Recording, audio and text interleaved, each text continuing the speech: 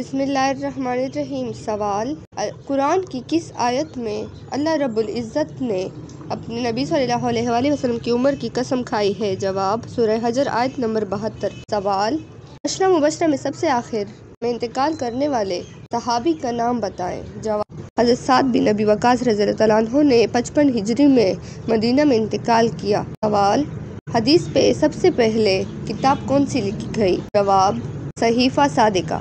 सवाल, कुरान की किस सूरत को किरात वाजिबा कहते हैं? जवाब, सुरह फातिहा, क्योंकि नमाज़ में इसका पढ़ना फ़र्ज़ है।